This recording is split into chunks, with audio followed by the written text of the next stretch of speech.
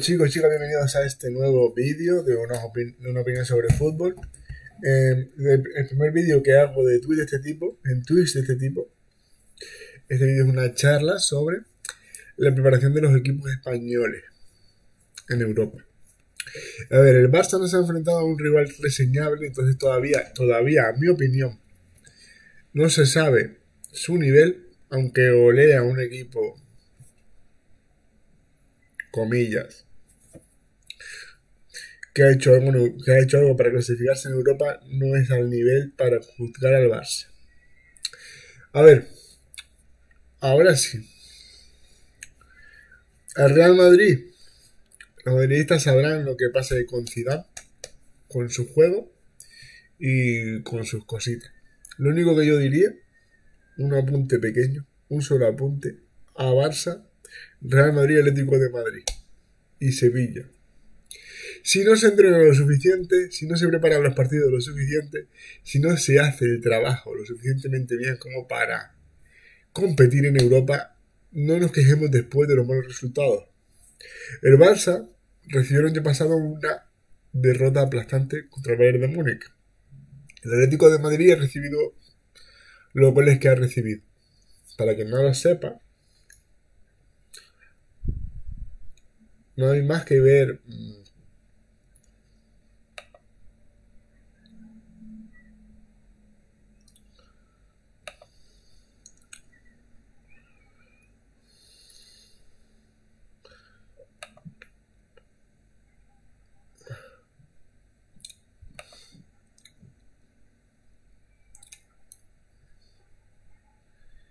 Aquí se ve claro, ¿no?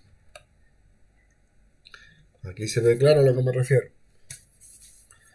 Cada uno que, que coja sus pinzas. A ver, quiero decir, el Liverpool va contra el Ajax y gana un 0-1. El Liverpool ha jugado contra uno de los campeones holandeses. Voy a por ello. El Bayern ha metido 4 al Atlético de Madrid. Y el Liverpool, pues ese grupo ya veremos cómo acaba en el grupo del, Atlético de Madrid, pero la pisonadora del Bayern, la pisonadora del Bayern, te mete con estos jugadores los cuatro goles. Al Barça les metió lo que les metió. Señores, no estamos para decir preparamos bien los partidos y estamos bien, ¿eh? No estamos para eso el espectador, si quiere comentar, si quiere suscribir, estoy dando opiniones sobre los equipos españoles y sus preparaciones o no preparación para las competiciones europeas. Señores, con esto no vamos a ninguna parte. El Bayern es una pisonadora y el Atlético, y el Atlético de Madrid, igual que le pasó al Barcelona el año pasado, ha sido arrollado. Porque cuatro goles son cuatro goles en Europa. También. No, nos mintamos ni mintamos aquí a la gente. Luego el Real Madrid con el Santander ha perdido. Podéis hablar de Zidane, podéis hablar de lo que sea, pero chicos, ojo, lo estoy diciendo desde ahora.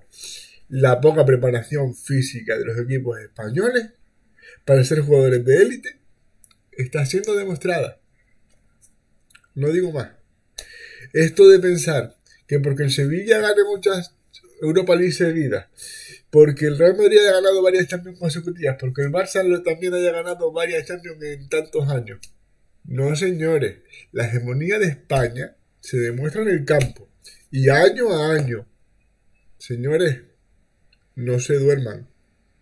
No se duerman ni me engañen a mí. Ni se engañen a ustedes. Que otros les pueden engañar, pero ustedes no.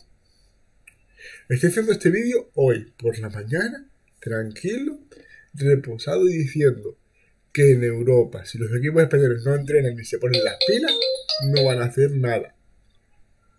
Y desde ya lo estoy avisando. Para que luego no me digan, Gustavo, es que no. No, yo lo dije y lo firmo desde hoy.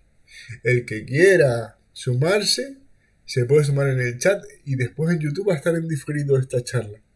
Señores, basta de pensar que somos el único país que juega bien al fútbol. porque nos podemos llevar una desilusión. El Bayern con, manda con mano de hierro en Alemania, si es que tal. Se puede permitir el lujo de bajar un poco el listón, porque el Liechtenstein y el Borussia no están a su nivel. Se puede permitir rotar, inclusive. Y equipos españoles no se pueden permitir rotar porque no da presupuesto por el COVID, por miles de cosas, pero yo me quejo de la falta de preparación física y táctica de los partidos. Porque al Barça no, que digo, no lo estoy jugando ahora. Al Barça lo, lo juzgaré el fin de semana contra el Real Madrid. Para poner un rival de altura. Pero si les digo, si se piensa la gente que la temporada esta por el COVID, que va a ser de partidos, que dos partidos cada semana, va a cambiar mi, mi visión, no, señores, los equipos que juegan Champions tienen una semana de que martes o miércoles juegan y fin de semana vuelven a jugar. No vayamos a caer en es que no, no, excusas las mínimas, hay que afrontarlo y si no se ficha bien, no se hacen las cosas bien. Y no es culpa de nadie ni de un jugador. Se llame Messi, se llame Vinicius, se llame Reguilón por estar ahora en el, en el Tottenham que se está saliendo. Se llame como se llame el jugador, no. Los entrenadores tienen que preparar tácticamente y entrenar todos estos partidos. Y más si son seguidos, porque vas a perder puntos. Y en Champions, el Bayern tiene ahora mismo la hegemonía. Y si ningún equipo pone el esfuerzo físico por delante, el Bayern está mejor preparado físicamente que muchos equipos en Europa. Basta de, decir, de vivir de pasado, de vivir de cada día, no. En Europa, si no nos ponemos las pilas, perdemos todo. Tanto prestigio, tanto... ¡Ay, es que somos campeones! No, señores.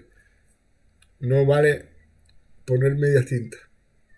Y también os digo, hay tres competiciones en cada en la Liga Española. Pues hay que competir para las tres. No tirar dos para jugar la Champions bien. O no tirar tanto por tanto. No se debería.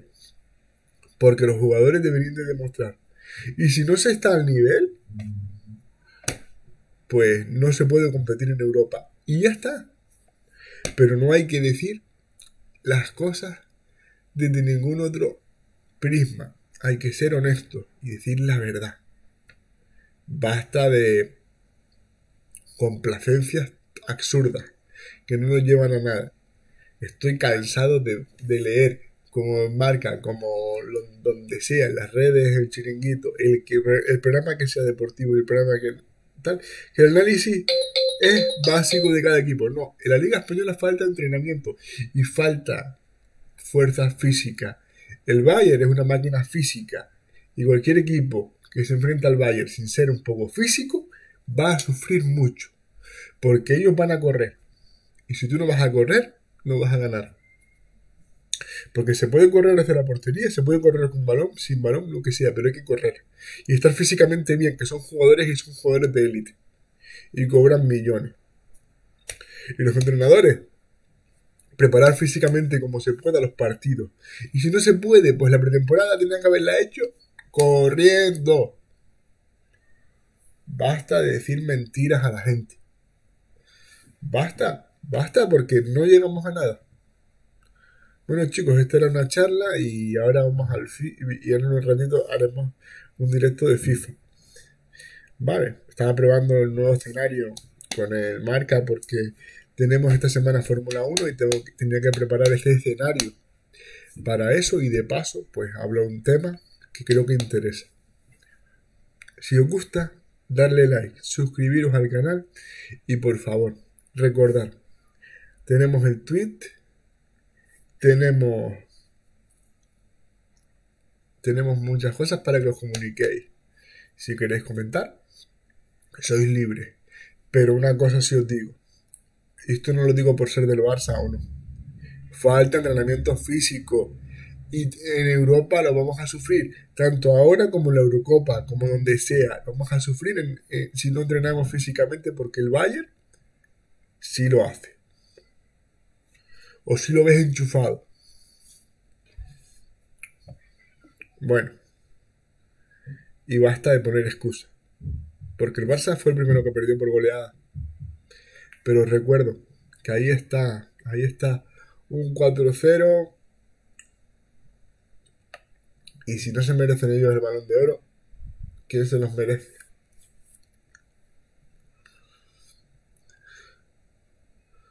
Vale.